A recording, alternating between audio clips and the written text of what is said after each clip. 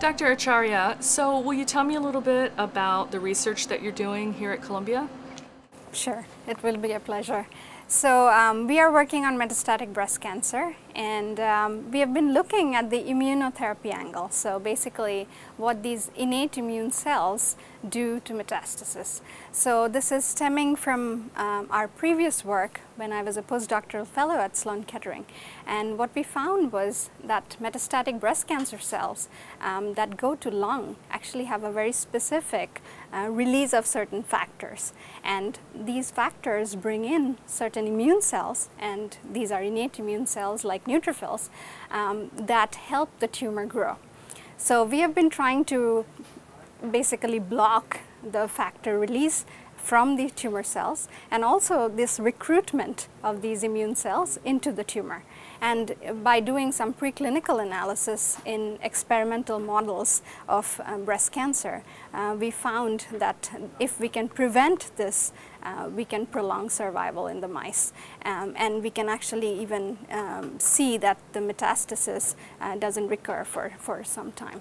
So, so we are trying to now understand how can we make this more effective, uh, what kind of preclinical drugs we can combine uh, to make this more long lasting. And you're seeing results in mice that this is reducing uh, the metastasis load? Exactly. So we are trying different models. We are trying some genetic models of tumor, of breast cancers, and that spread to the lung.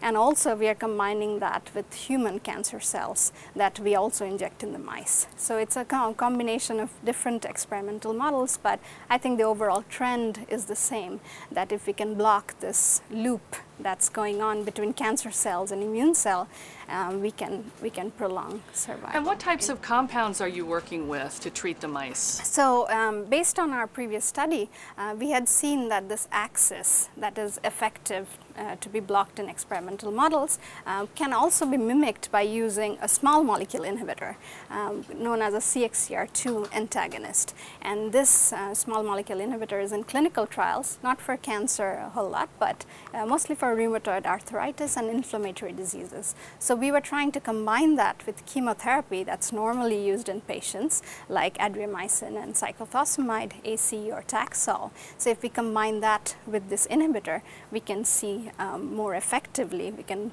basically reduce the number of metastases and then also prolong the time uh, that they are metastasis free in the mice. Uh, so now um, there's a phase one trial uh, that's ongoing based on this work, um, we are trying to combine a TNF-alpha blocker with chemotherapy. That's mm -hmm. also in this same pathway uh, to target these um, in metastatic patients. So hopefully we can also do this in, in metastatic breast mm -hmm. cancer patients uh, after more trials. Tell me a little bit about how the METAvivor funding is being used to prolong your work. Yes, I think um, this is extremely critical for a lab like ours. We have just started. It's been a year and few months uh, since we joined Columbia and started our own lab.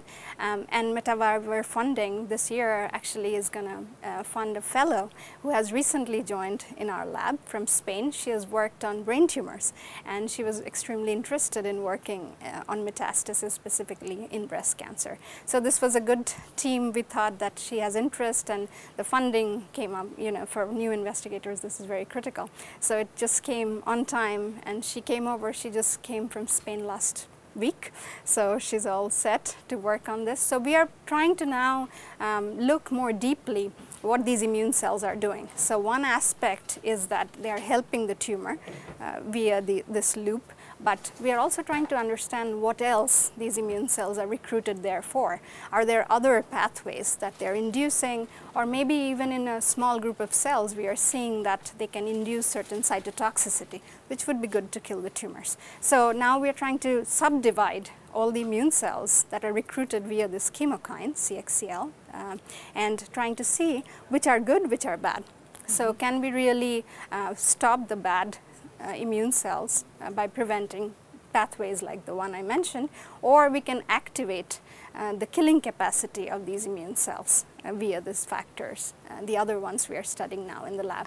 And um, Christina, who joined here, uh, she is going to focus on subdividing these immune population. Mm -hmm. So, so far we hear a lot about sequencing of tumors. Now we are trying to look phenotypically into these immune population to see which ones, what their functions are basically. And a lot has been done in the area of T cells, for example, in the adaptive immune system, uh, but relatively less is known in the neutrophils. These are short-lived cells, but still they are so abundant in our body, and when there's a tumor, they are increased many-fold. So uh, we think that we might be able to use these cells to also get a better response with the tumor. And our experiment early results are showing that. That's great news. So what are some of the challenges that you face in your work? I know that funding is always an issue. Um, what are and, we're doing our best to fund your research and the and the important work uh, uh, that others are doing. What are some of the other challenges that you face, and how can advocates help? Yes, I think uh, it, when we are trying to do translational research, for example, I think it's very critical to bring in the oncologist and the basic scientists together uh, in terms of moving this forward. Uh, we have been quite fortunate here at Columbia that this is happening, but I think at a more national level, uh, in the conferences, for example, for metastatic breast cancer cancer. We need to push that forward. Um, I think it's still limited funding, obviously, but also the awareness of how important metastatic cancer research is, uh, and it kills so many patients. We need to do something about that. I think that awareness needs to go beyond just few institutions that are doing it, but more at a national level. So I think that would help in general, and um, for example, in some of the meetings I've gone to, um, it's mostly we hear still majority of the talks would be on primary tumor control, but I think fewer talks on metastasis and per se looking at the mechanisms of metastasis, which, which can really progress survival if we, mm -hmm. if mm-hmm. we think about it. So mm -hmm. I mm-hmm. think that part uh, is a challenge still uh, for in terms of funding, you know, how important this area is when, when there are newer investigators like us in this area, I think to get them in and kind of creating awareness would help and mm -hmm. the advocates would be key in that. Mm -hmm. And we are also working with a team of advocates here, um, so it would be really great to bring this all together. Mm -hmm. So. Do you face any specific challenges moving um, clinical trials forward to phases two and three? Yes, I think um, sometimes uh, when it's not a targeted therapy, for example, or some, something that is not per se targeting the tumor, there is reluctance often uh, for example, for the immune system now with the immunotherapy trials, it's, it's very widespread and very um, well publicized, but some things like this, like the innate immune therapy, uh, for example, macrophage therapy, there are several investigators who have done a lot of good work, um, and those are coming into the clinic, clinical trials, but I would say the phase is still kind of, the pace is slow.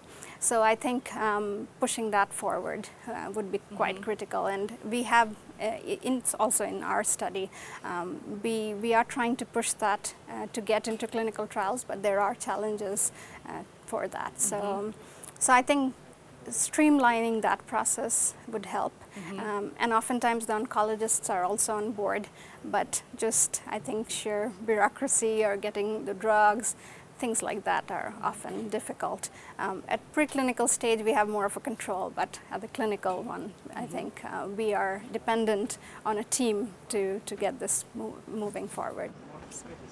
Dr. Acharyya, why did you choose a career in metastasis research? So I think primarily when I became interested in cancer research, um, it was striking that majority of the deaths are still due to metastasis. And when I compared what's really known about the primary tumor and the control, the local control, relatively very little is known uh, on metastasis. And I figured that uh, if we can do anything in this area, even understanding a little bit of the resistance, for example, why these metastatic cells do not respond to therapies that normally primary tumors would respond to, I think that we can make a difference in survival. So I think that part was always ingrained in me and um, that's why I joined a lab when I was doing a postdoc that focuses on metastasis, uh, Dr. Massagué's lab at Sloan Kettering. And there I think we were all very much thinking about metastasis all the time and um, that helped in again refocusing my efforts when I started my own lab to work on metastasis. And now I'm very lucky to have a group a great team with me uh, who are all focusing on different aspects of metastasis, and uh, it's been great to work with them. Well, on behalf of the metastatic community, we thank you for your work. It's very important to us. Thank you. Thank you very much. And uh, we are really grateful to METAvivor for the funding Thank for you. this.